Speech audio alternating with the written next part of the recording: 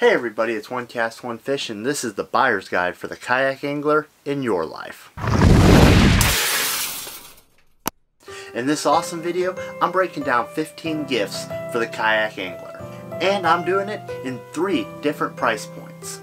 We're going to be looking at awesome gifts in the $100 plus range, 25 to $100 range, and the less than $25 price range. Let's start with gifts in the $100 plus price range. If you've watched my channel before, you know I'm a big fan of the Garmin Striker fish finders. What makes these fish finders so awesome is not only are they packed full of navigation features, but they're full of awesome fishing features that are going to help you put more fish in the boat.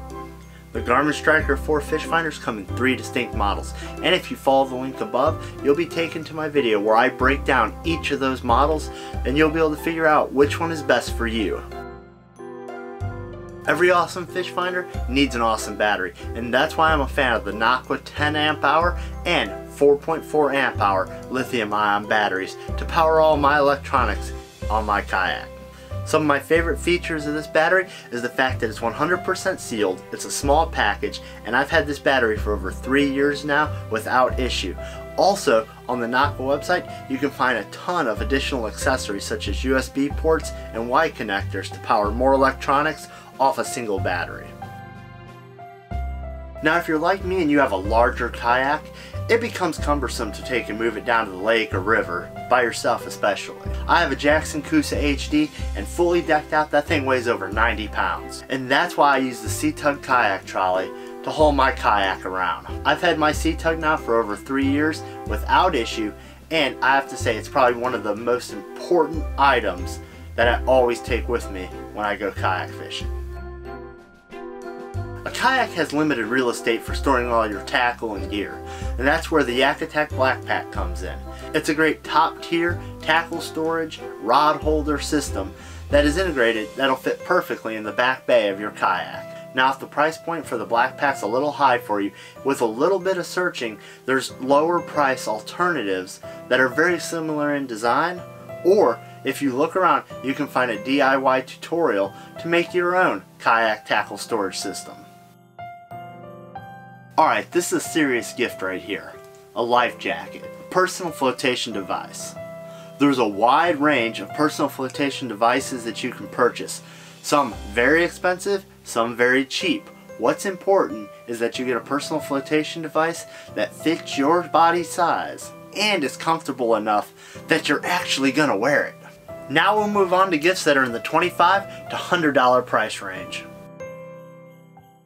What's nice about an anchor trolley is you can simply drop your anchor off the side of your kayak and then trolley it to the bow so that way there you're anchored from the front or you can trolley it to the rear and you'll be anchored off the stern. The kayak anchor trolley gives you a lot of versatility especially when trying to anchor your kayak in current or windy conditions. You don't need a big anchor for a kayak. Actually something about 3.5 pounds is more than adequate. What is important in my opinion is that it's folding and collapsible so you can have a nice easy package and you can store it with ease on your kayak when not in use.